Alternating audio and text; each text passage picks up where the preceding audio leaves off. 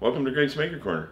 In this video, I'm going to be doing something a little off script for my channel and building a PC. Uh, normally, if you're new to my channel, you're going to see a lot of DIY build videos. So stay tuned, I'll talk about why 3D printing and PCs go together pretty well and some of the things that I'm considering in this build.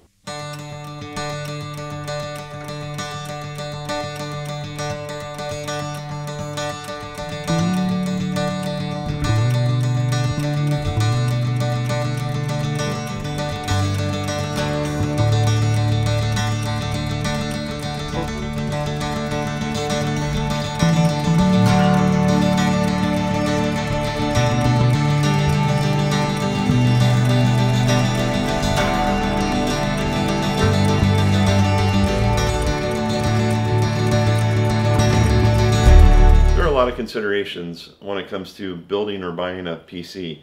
You can go with a pre-built or you can go with a DIY build like I'm doing here.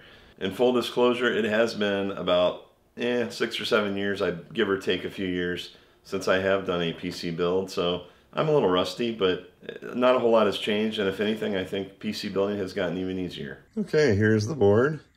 So you can see everything's pretty much empty at the moment. And I've got some DDR5 RAM here from G.Skill called the Flare X5. I'm going to go ahead and put this memory in, and you're just going to open up slot 1 and slot 2 to insert these. Um, now, there's only one way you can, these can really go in. But those went in, and I hear the nice satisfying click. So I got those in right. Go ahead and insert the CPU. I'm just going to rotate this around so it's a little easier to access. And you want to make note of this little corner arrow here. Hopefully you can see that on the camera. But that corner arrow is going to help us align the CPU. When you're removing it from the package, make sure that you don't touch any of the bottom of this. And you can see the corner arrow here. That's going to align in that corner. And I'm just going to grab it on the sides. Make sure nothing's on the bottom. And then I'm just going to set it in there nice and flush. So make sure it's uh, none of the corners are overhanging.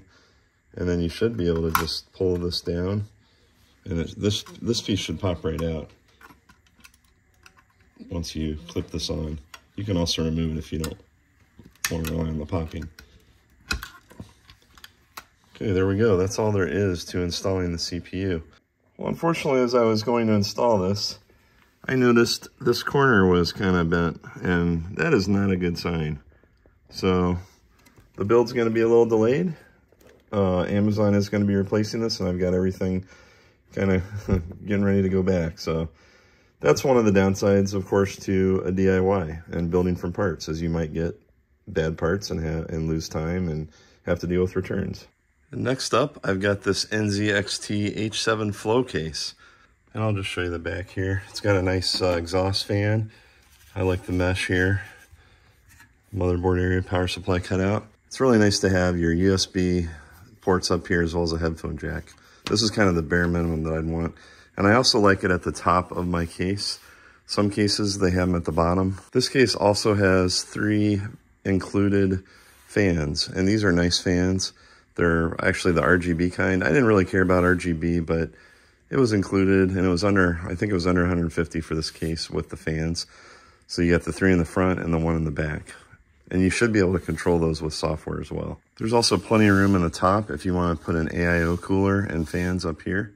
And this is a modular power supply, which is nice. That just means that all the cables you have, you can kind of pick and choose what you want to plug in there. They're not all just tied into the power supply. You've got the power supply out along with the cables. And really what I'm going to do is just go ahead and plug things in that I know that I'm going to need. It's definitely possible to add these cables later as well if you need to, if you forget one, but it's easier to add them all now and then just kind of feed them in. I'm just going to use this ATX one as an example. So the 24 pin ATX, this side's going to go into the motherboard and this side you're going to connect it in and it's really in two spots. You got your 24 pin right here and that needs to click in and then you've got to kind of bend this one a little bit to get it to fit down here. And these, these are only going to fit one way, so you really can't screw it up. And the rest of these are going to be based on the peripherals or the GPUs you have in. SATA connectors, but just check your GPU to confirm which ones you need. I'm not using any SATA drives. I'm not going to need any of these SATA cables, which is that connector there. It's interesting that they even included this really old school connector here, so definitely not going to need that. All right, to mount this power supply, you'll notice there's an intake fan right here, and there's a little mesh here where the air can come up, the cold air.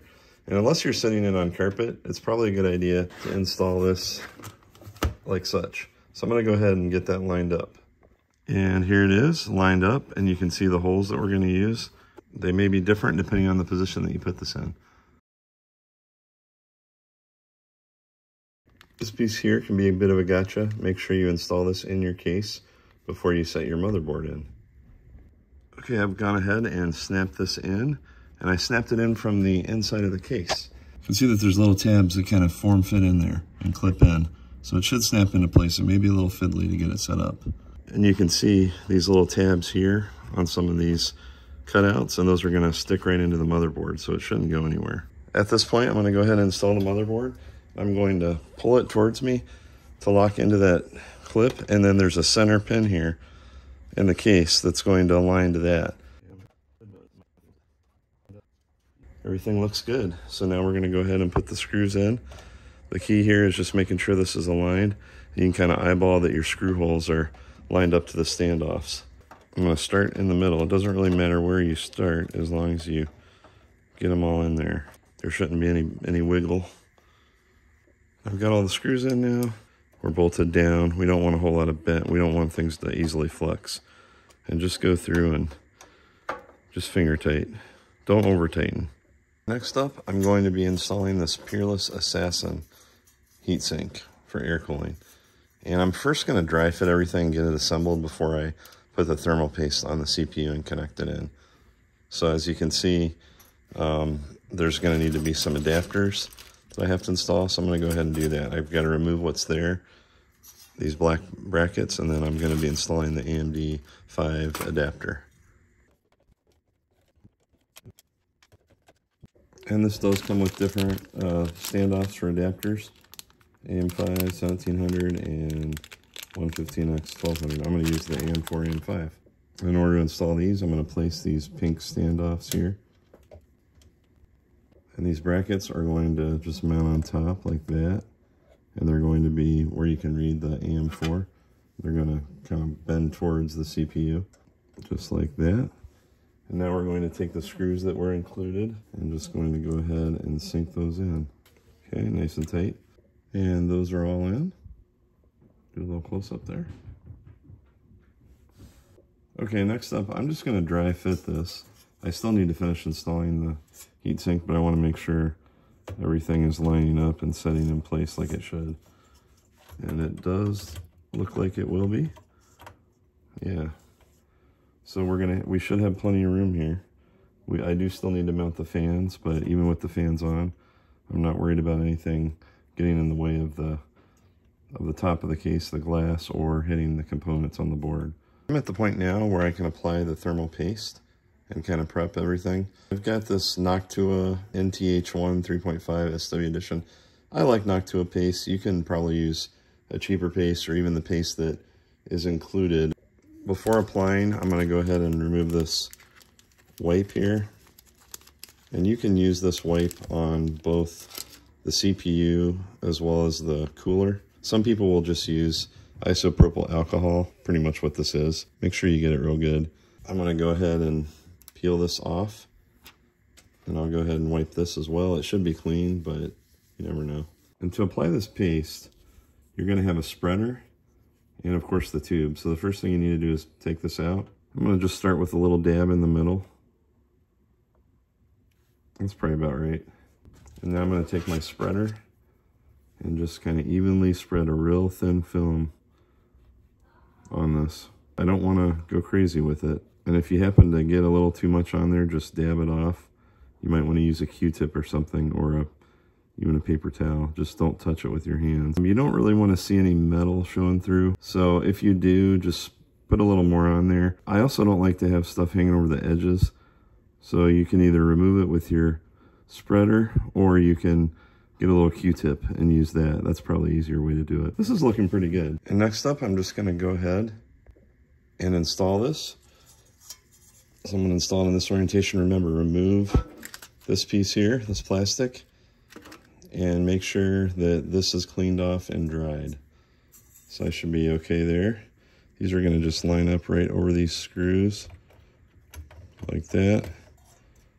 Now I need to tighten them down.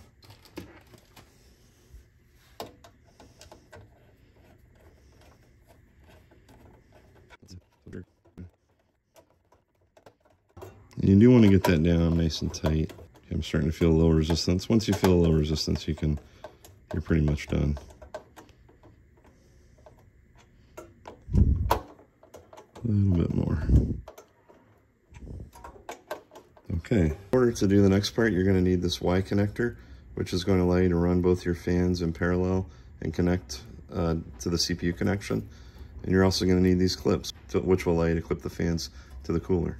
When mounting the fans, keep in mind where your CPU connector is gonna be. Mine is right here. Um, so I need to be able to reach that. So with that in mind, I'm gonna just make sure the wire is go going out that side. The other thing you need to be aware of is this is going to draw air into it and we want it all going towards the exhaust. So make sure that as we mount the fan, one here and one here, that the label is facing this direction. And the clips are going to go in like this. And then I'm gonna go ahead and mount this in the middle one. And just let it go pretty much where it's on the top. And then that should just snap right in like that. There we go. There, that one's all in, and then I'll just repeat for the front. We've got it mounted the exact same way, the logo outside, and same thing for this side. I take my cables here, and these only should be able to fit in one way, and just go ahead and put them in, and there's two. And now we can go ahead and connect this to the CPU pin. And my CPU fan, I've rotated the case so you can see a little better. It's pretty hard to see and get to. Looks good.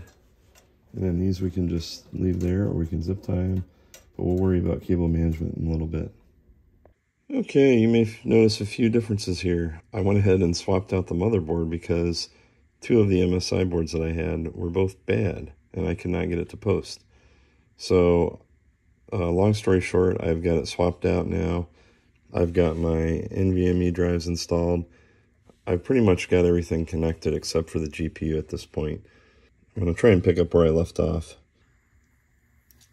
I'm going to go ahead and remove the stickers. And you don't want to remove the sticker on your NVMe, just leave those on there because those are metallic. I'm to just set that on there. And I should be able to just line it up and screw it in. Yeah, that seems pretty good. This is the cable that you're going to need to use for the 4080. So you take four of these PCIe connectors and you basically are going to connect them. It should only go in one way. So you'll go ahead and connect them in like that. And you really do need three of them and you don't want to use the pigtail end. These are going to go into the card. But before we get all that wired up, I'm going to go ahead and remove my couple of my slots. It came with one of these, which is a support. So that's pretty nice. And that's also going to go into um, the slot over here. And that's going to help hold the card up. And here's the card. This thing is really a beast. It weighs a lot too. I'm going to rotate it around here. And before you put it in the slot, you'll need to remove this piece right here.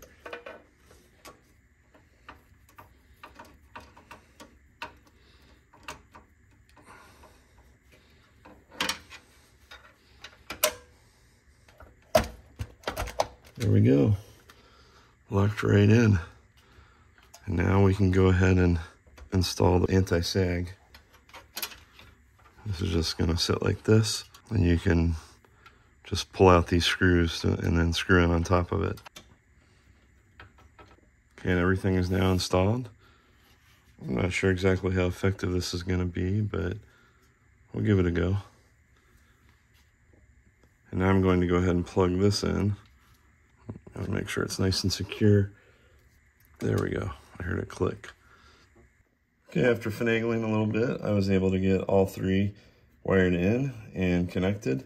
You can kind of see how I brought it through. Now we're going to go ahead and plug it in and give it a shot. I was able to get everything up and running, including installing Windows 11 as well as the drivers. There were a few surprises along the way, mainly the motherboards. The trade-off between building versus buying a pre-built is pretty much time and cost. You're going to definitely save time by buying a pre-built, but you're probably not going to get the best components. I priced out all the components individually. With my build, I was able to save around five to six hundred dollars. But I really do believe with the defective motherboards that I got, with um, some of the troubleshooting time that I spent, I certainly could have saved time over money.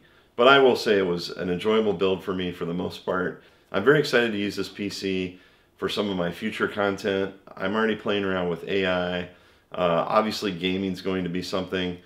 And then, of course, uh, 3D printing. I do plan on installing all the 3D printing software that I want to use and get up to speed with that. This is a fairly high-end model. I spent around $2,500 on it, and you can see all of the parts in PC Part Picker uh, in the link in the description. I hope this has been helpful for you. If you'd like to see future content more in the PC area and how I'm using it, maybe for content, uh, once I get into AI, please drop me a note. Thanks again for watching Greg's Maker Corner.